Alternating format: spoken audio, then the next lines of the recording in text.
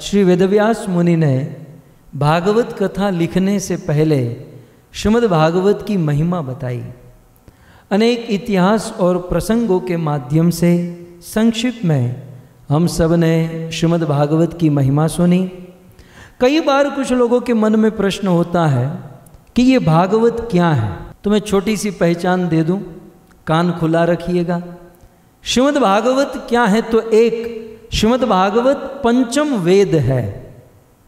वैसे तो रीग साम, अथर्व और यजुर चार वेद परंतु भागवत जो है, ये पांचवा वेद इसलिए हमारे आचार्यों ने लिखा, इतिहासम पुराणम पंचम वेदानाम इति वेदम। श्रीमद् भागवत पांचवा वेद है।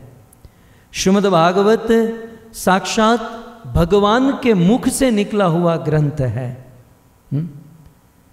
वेदव्यास मुनि ने जितने भी पुराण लिखे, ये सारे पुराण भगवान के मुख से नहीं निकले। केवल दो ग्रंथ ऐसे हैं, जो स्वयं भगवान के मुख से प्रकट हुए। एक श्रीमद् भगवद गीता और दूसरा श्रीमद् भागवतम। और इसीलिए असंख्य शास्त्रों में से ये दो ही ग्रंथ, ये दो ही शास्त्र ऐसे हैं जिस शास्त्र के आगे श्रीमद शब्द लगाया गया है। श्रीमद इसलिए क्योंकि ये श्री भगवान के श्री मुख से प्रकट हुआ है। इसलिए श्रीमद् भागवत एवं श्रीमद् भगवत गीता। तो भागवत पंचम वेद है।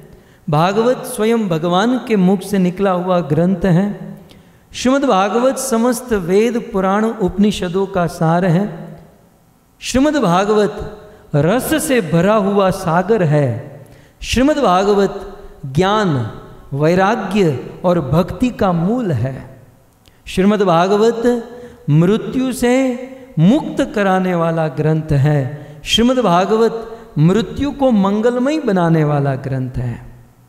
श्रीमद् भागवत व्यक्ति को शांति और समाज में क्रांति लाने वाला ग्रंथ है। आपको नहीं लगता है? ये थोड़ी बहुत क्रांति हो रही है, है?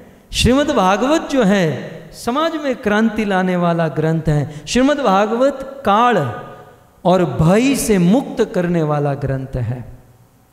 श्रीमद् भागवत भगवान के समस्त अवतारों का इतिहास है और अंत में श्रीमद् भागवत उभयात्मक ग्रंथ है। ये अद्भुत ग्रंथ है। उभय उभय माने दो। श्रीमद् भागवत को उभयात्मक ग्रंथ कहा गया क्यों? क्योंकि श्रीमद् भागवत की पूजा दो प्रकार से होती है। श्रीमद् भागवत की पूजा उनकी आरती करके उनको भोग अर्पण करके, फल, फ्रूट भोग, भोजन अर्पण करके भी श्रीमद् भागवत की पूजा हो सकती है। और श्रीमद् भागवत का श्रवण करके भी भागवत की पूजा होती है। तो श्रीमद् भागवत श्रोतव्य भी है और सेव्य भी है इनकी पूजा भी कर सकते हैं, श्रवण भी। इसलिए भागवत को उभयात्मक ग्रंथ कहा गया। और सबसे उत्तम श्रीमद् भागवत, ये हम और हमारे बच्चे जो स्कूल में पढ़ते हैं हिस्ट्री, ज्योमेट्री ऐसी कोई टेक्स्ट बुक नहीं है। श्रीमद् भागवत कोई साधारण पुस्तिका नहीं है। ये श्रीमद् भागवत स्वयं भगवान श्री कृष्ण का वांगमय स्वरूप है। श्रीमद् भागवत साक्षात भगवान की वांगमय मूर्ति है। और इसलिए पद्म पुराण के दो श्लोक में कहा गया कि भागवत के बारह स्कंद, भागवत में बारह स्कंद है। भागवत के बारह स्कंद भगवान श्री कृष्ण, भगवान श्याम सुंदर के बारह अंग है। किस प्रकार आप मेरे पीछे फ़ोटो में देख सकते हैं कि भागवत के कौन से अंग भगवान का कौन सा स्वरूप है? पादो यदीयो प्रथम द्वितीय तृतीयतुरीयो कथितो यदूरो नाभीस्ततापन् चमयेव षष्ठो भुजातरङ्गो युगलततान्यो कण्ठस्तु रामं नवमो यदीयो मुखारविन्दं दृशमप्रफुल्लम्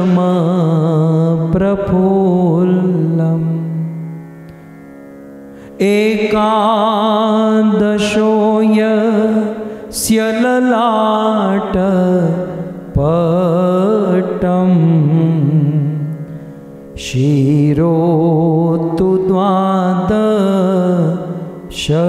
एव भाति। पद्म पुराण में व्यास मुनि लिखते हैं, पादो यदीयो प्रथमतु द्वितीय।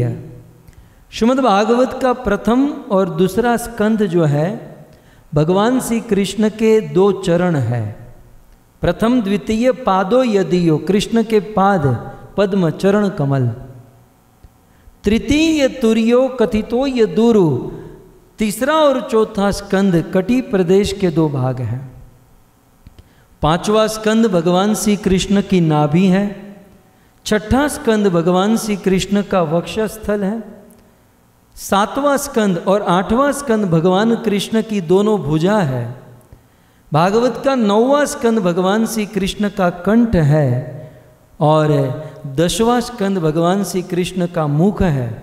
भागवत का ग्यारहवां स्कंद भगवान का ललाट है और बारहवां स्कंद भगवान श्री कृष्ण का तिलक है।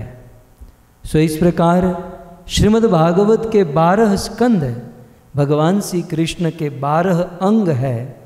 कुल मिलाकर यदि हम सोए बिना या अपने मन को यहाँ वहाँ भटकाए बिना यदि ठीक से भागवत सुनते हैं तो मानो हम डायरेक्ट भगवान का एसोसिएशन कर रहे हैं। मानो हम भगवान के गोद में बैठे हैं या भगवान हमारे गोद में बैठे हैं, यदि हम ध्यान से भागवत सुनते हैं, क्योंकि ये भागवत साक्षात भगवान का स्वरूप है। भागवत शब्द की व्याख्या भागवत शब्द की व्याख्या कर दूँ।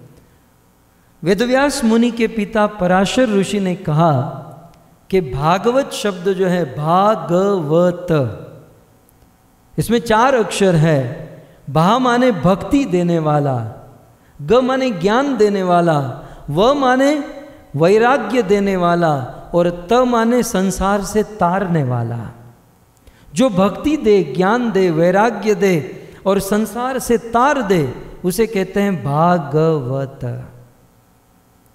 और हमारे भारत के संत पूज्य डोंगरे जी महाराज अक्सर कहा करते थे वो तो गुजराती में बोलते थे भागवत एटले शू बिल्कुल सरल गुजराती भाषा में बोले भागवत एटले शू भागवत में भ एटले જેને ભણી શકાય ગ એટલે જેને ગણી શકાય વ એટલે જેનાથી જીવનને વણી શકાય અને ત એટલે જેનાથી જીવનને તારી શકાય આનું નામ ભાગવત सो श्रीमद भागवत की महिमा भागवत का परिचय भागवत शब्द का अर्थ और आइए साथ ही साथ भागवत की परंपरा बता दूं श्रीमद् भागवत की तीन परंपरा है श्रीमद् भागवत तीन परंपरा से प्राप्त हुआ है एक परंपरा ऊपर से चली एक परंपरा पाताल से चली एक परंपरा धरती से चली।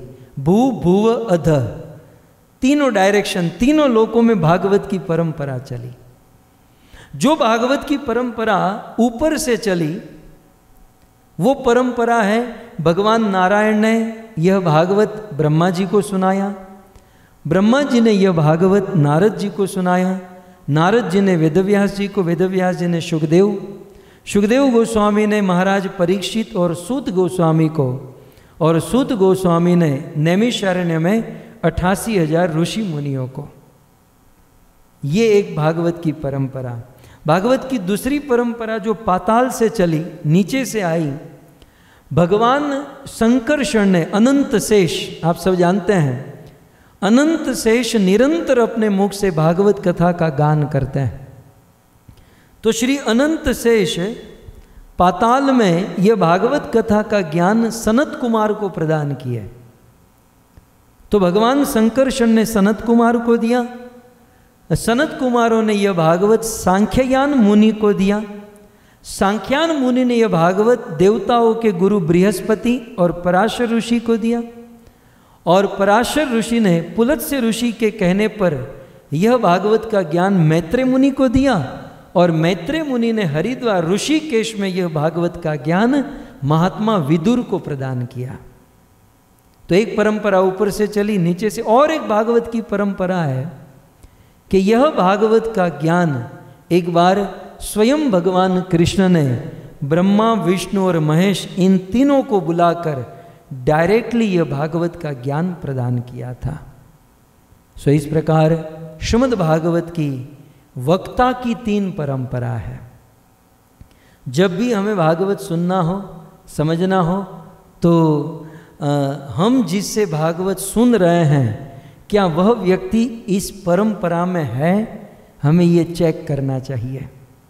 खैर हमारी ये ब्रह्म मध्य गौड़ीय धारा शिल प्रभुपाद जी की ये संस्था पूर्ण रूप से श्रीमद् भागवत की इस परंपरा में है। जैसे भगवान से ब्रह्मा ब्रह्मा से नारद नारद से व्यास व्यास से मध्व, और जो परंपरा चली है, उसी परंपरा से हम सब भागवत श्रवण कर रहे हैं। तो श्रीमद् भागवत के विषय में मोटा मोटी ज्ञान आप सबको हो गया, ठीक है? भागवत का परिचय हो गया भागवत की महिमा हो गई, भागवत शब्द की व्याख्या हो गई, भागवत के वक्ता की परंपरा, वक्ता की योग्यता भी हो गई अब थोड़ा सा भागवत के श्रोता की योग्यता भी समझ ले, हैं? कि भागवत के श्रोता कैसे होने चाहिए, हैं?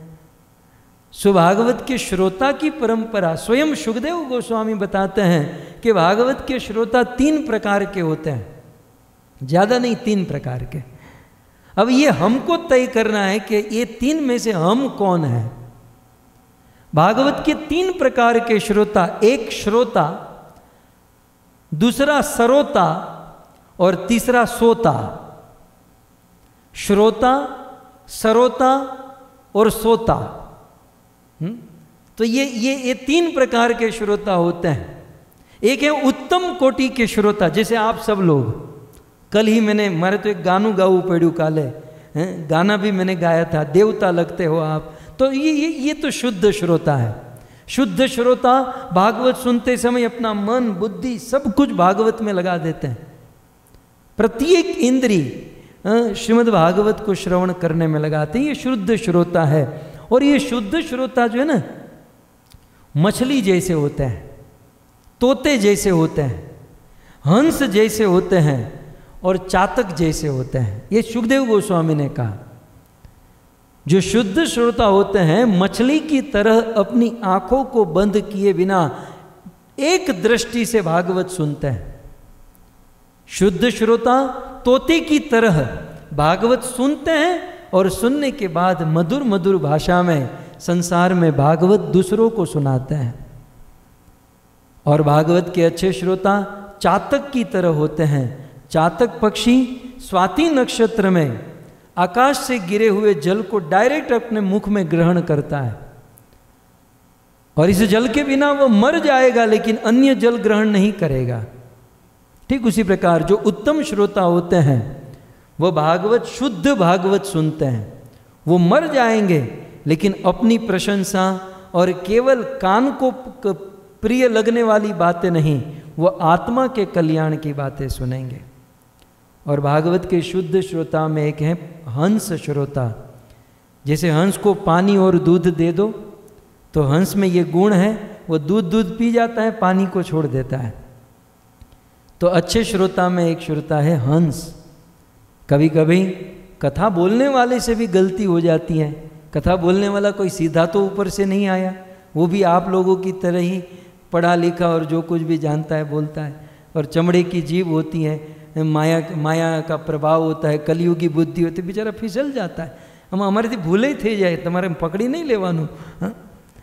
तो तो तो हमसे कोई गलती हो जाए तो परमहंस श्रोता जो है ना, उसमें ये गुण है कि दूध दूध ग्रहण कर लेते हैं, पानी को छोड़ देते हैं। जो सार बातें होते हैं, जो सार बातें होती हैं, उसे वे ग्रहण करते हैं और अन्य वस्तु को वह त्याग देते हैं। सो इस प्रकार से ये हो गए। आप लोग जैसे, आप में से कुछ लोग तोते जैसे श्रोता है, आप में से कुछ लोग चातक जैसे हैं, कुछ लोग परम हंस जैसे हैं हैं।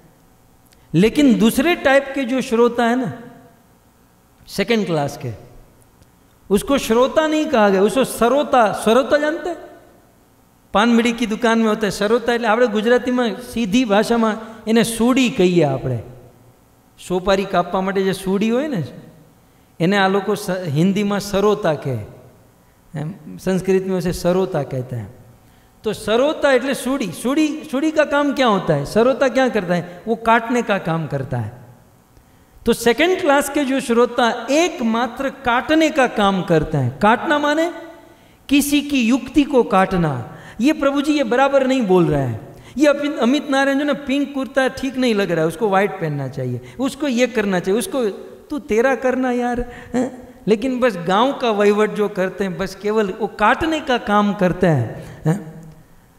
आज ये बाल कृष्ण का फोटो पीछे नहीं होना चाहिए था आज दूसरा होना चाहिए तो तारो आए तारो मूकू आया पाछड़ તમારો फोटो મૂકું लेकिन जो तो सर होता, बस केवल दूसरे की बातों को काटो। तो ये सेकंड क्लास के श्रोता कथा में आते तो हैं, लेकिन कथा में गुण लेने को नहीं, दोष देखने को आते हैं। आप में से तो कोई ऐसा नहीं है, लेकिन भागवत में सुखदेव जी ने कहा कि इस टाइप के श्रोता भी होते हैं। और, फिर, ये तो सेकंड क्लास हो गए, फिर थर्ड क्लास के कौन है? बोले, वो न तो श्रोता है, न सरोता है। अच्छा सरोता में मैं आपको एक एग्ज़ाम्पल दे दूँ। सरोता जो है ना, एक एग्ज़ाम्पल दे दूँ। सरोता माने, अब अच्छे श्रोता तो आप लोग जैसे होते हैं। मीन, मछली जैसे तो तोते जैसे, चातक और हंस के जैसे। लेकिन ये सेकंड क्लास के जो श्रोता सरोता है ना, वो ऊँट जैसे होते हैं। ऊँट देखा ऊँट? તમે આમ દરિયે નથી जाता बीच पर नहीं जाते वहाँ ऊँट नहीं होते ऊँट हम्म तो ऊँट को आपने देखा ऊँट क्या होता है आ, वैसे ये रेगिस्तान में बहुत देखने मिलता है और ऊँट जो है रेगिस्तान में पेड़ के पत्ते खाता है और जब वो ऊँट पेड़ों के पत्ते खाता है तो उसमें उसे बड़ा रस आता है ऊँट को बड़ा आनंद आता है वास्तव में देखा जाए तो पेड़ों के पत्तों में वो कोई आनंद व रस नहीं होता। पेड़ के पत्तों में कांटे लगे होते हैं और कांटे के साथ वो पत्ते खाता है, कांटे ऊँट के मुख में लगते हैं, खून निकलता है और अपना ही खून पीता है और उसे लगता है ये पेड़ के पत्तों का आनंद है। समझ रहे ना? तो ऊँट पेड़ के पत्ते खाने का आनंद ले रहा है, लेकिन वो पत्ते का आनंद नहीं, वो अपना ही खून पी रहा है। तो जो ये सेकंड क्लास के श्रोता दूसरों की बातों को काटने का काम करते हैं, दूसरों की निंदा ईर्षा करने का काम करते हैं, उनको आनंद तो आता है, जैसे ऊँट को आनंद आता है। लेकिन ऊँट जानता नहीं कि मैं मेरा ही खून पी रहा हूँ। ठीक उसी प्रकार दूसरों की काटने वाले, निंदा ईर्ष्या करने वाले आनंद तो ले रहे हैं, लेकिन वे जानते नहीं मैं अपनी ही आत्मा का पतन कर रहा हूँ मैं अपनी ही आत्मा का हनन कर रहा हूँ तो ये है ऊँट जैसे श्रोता हाँ? तो ये सेकंड क्लास के श्रोता है और फिर थर्ड क्लास का न श्रोता, न सरोता थर्ड क्लास जो है ना, वो है सोता? हमारे यहाँ आते हैं ऐसे दो तीन लोग तो तो थर्ड क्लास के जो है, वो है सोता बस माइंड सेट ही होता है कि बस अब आठ बजे कथा शुरू होगी तो हमारे सोने का टाइम शुरू होगा। और दस बजे जब समाप्त होगी तो हमारे जगने का मतलब उनके मन में ऐसा प्रोग्राम सेट ही होता है कि ओम नमो भगवते वासुदेवाय जब होता है तो यहाँ उसकी नींद शुरू होती है। और कथा समाप्त हो, तब नींद खुलती है? तो इसे कहते हैं सोता। तो कथा में जो है ना, कथा में सो जाना, ये दुनिया का सबसे बड़ा लॉस है। हमारे रूप गोस्वामी ने कहा, सोने की बात तो दूर रही। जब हम कथा सुन रहे हो, और जब हम हरिनाम जप कर रहे हो, और हमारे आँखों के देखते पचास किलो का घी, अब उन दिनों तो घी सबसे महँगा था, इसलिए ये पुराना दृष्टांत है।